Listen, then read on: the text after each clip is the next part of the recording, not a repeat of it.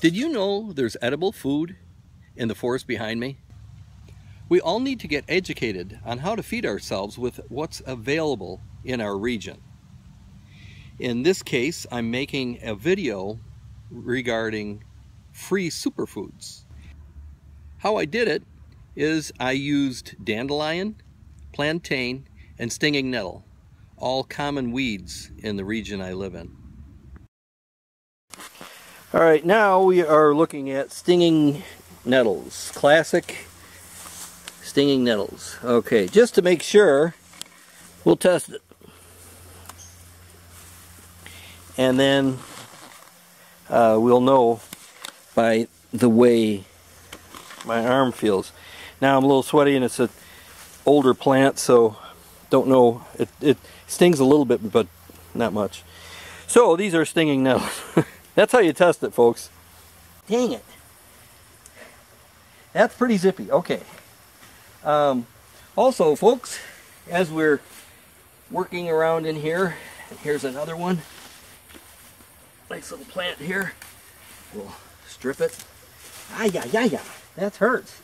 Okay, so I'm I'm in, I'm standing in the midst of all these stinging nettles. Now I'm getting stung. But I want to also point out this is poison oak. You don't want to touch that. Otherwise you'll have a reaction to it. And in emergency, nobody needs that kind of trouble. So just be aware. Be aware of your your local area where you can know your perils.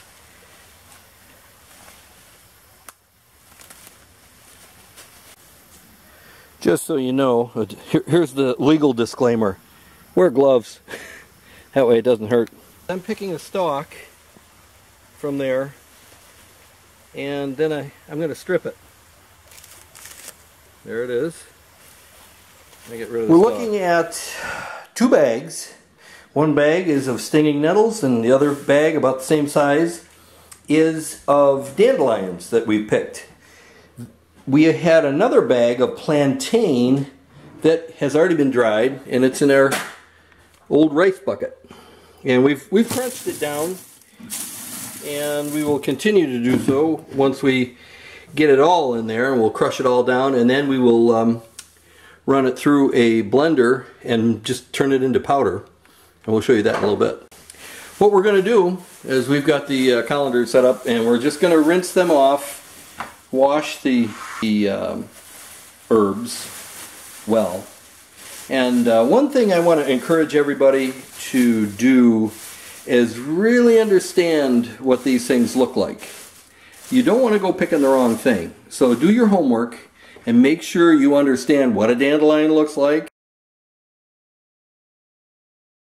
and what a stinging nettle looks like and what the plantain looks like. They're pretty common, they're everywhere, but understand exactly what they look like because you don't want to pick the wrong plant. Okay, go ahead. There you go. Like giving it a shower. We are now dehydrating right now. And this is a just a, a, a bigger dehydrator. It's got, let's see, five and then four more inside sh shelves and I'm only running four because of the fluffiness of the leaves. They're coming down now, they're getting drier. That's how it looks. It's just a simple unit that's got nine shelves in it if you got really thin stuff to dehydrate. Runs on a timer and then we run it for about 12 hours uh, and then it's uh, it's dry and we put it in the bucket. I crunch it up. Well, we're to the point now where we've picked our dandelion, plantain, and stinging nettle. And now we're going to, uh, well, we have already dehydrated it, and we put it all in this bucket. And now, you can see it here. Now what I'm going to do, it's real crunchy. So now what I'm going to do is I'm going to crunch it down. And then after that, I'm going to grind it to a fine powder. And then there we have our superfood. Now I've finished grinding it by hand. Now I've got everything to make my powder, powderize this stuff. So now we're going to pour it in. I suggest, I'm doing this in the sunroom and I'm going to have to vacuum later, but I suggest to, it's, it's a little dusty when you do this. Where it's at right now. Here we go.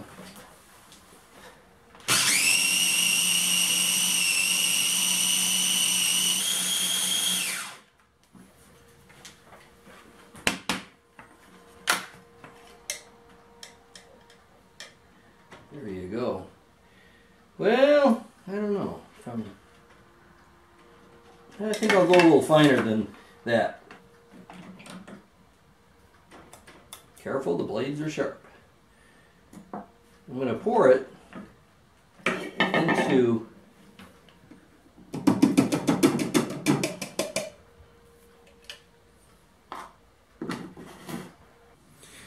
Well, the chopper and grinder got it to this consistency, which uh, that's not good enough. You want a fine powder like that. You see that? That's a really fine powder. The the stuff that you buy at the store is powdered like this, not like that. So what I did is we have this coffee grinder. So this is what this looks like. I always like to see what it looks like. Real simple. Well now we've gotten that. That's my rice bucket or wheat bucket or whatever. It's a four gallon bucket that I use for grain and so forth. Well I reused it for this and you saw how full it was. Now it's empty and it's gone down to this. I have a lot more respect for how much work it takes to grind all that stuff and make it into a powder form. That's a lot of material. That started out as uh, three or three one-third bags, a full bag, a full bag, 13 gallon bag of uh, leafy material, which we washed and then dried and then dehydrated. And so now it's made it to the powder form, as you see. Well, here's to your health.